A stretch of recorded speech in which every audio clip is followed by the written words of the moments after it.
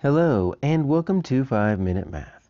Today we are looking at the 7th grade concept of surface area. This is standard 7.9D in the great state of Texas, and we are using item number 6 off the 2016 released STAAR test. If you have not done so already, please go ahead and take a moment to pause the video, work this problem out on your own, unpause it, and then we will look at our answers together. So we have what we call a net of a square pyramid. And it's, it's like we had this square pyramid that was made out of paper or cardboard, and we could have opened it up and laid it flat. You see here how our four triangular faces right here, if we would bring them all up into the middle right there and have them uh, have the, the points kind of connect right there, the vertex up at the top, we could have a pyramid. And so one way for us to find the surface area, now this is not volume. So the volume, remember, is on the inside. It's not volume. The surface area is how much area, remember that's a two-dimensional measurement, is on the surface of a three-dimensional object. So instead of finding the volume inside the object, we're looking for how much area is on the faces of this object. So I've got four triangles. So I'm going to need that measurement for area. So the area of a triangle, remember, from our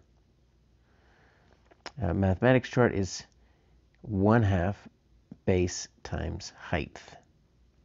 And we remember that because if you think of any rectangle here, right, and that's base times height, you can always turn it into a triangle by just one line that goes diagonal.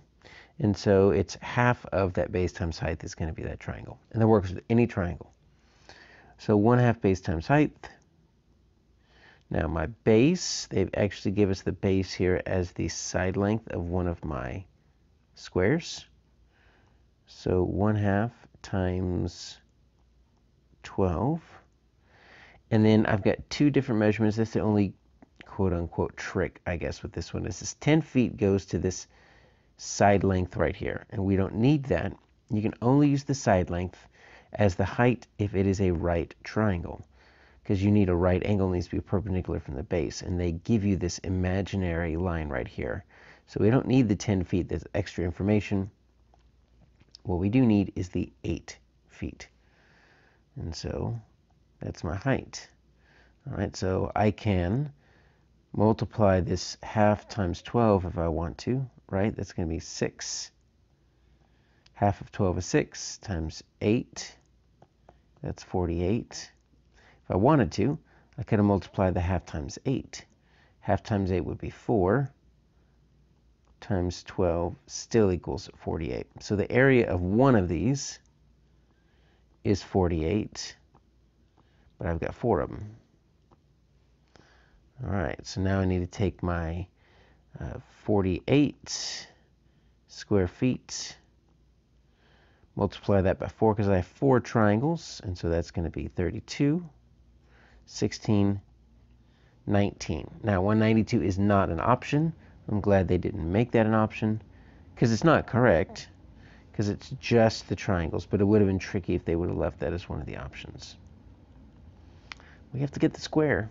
Now it is a square-based pyramid, so they only give us one side length. We don't need to know any of the other side lengths. It's a square, so it's all the same thing. So uh, you could do the base times height if you wanted to, but remember they're both the same here, so it's s squared or side times itself. So this is 12 squared, or in this case it's going to be 12 times 12. All right, so that's a basic fact. If we're not sure what that is, we can do the multiplication, but that's 144. All right, so I've got four sets of 48. That makes 192. And then I've got my 144 for my square. And that's going to be it. Let's just add that up and see what we get here. I've got 6, 13. I've got 336 square feet, F.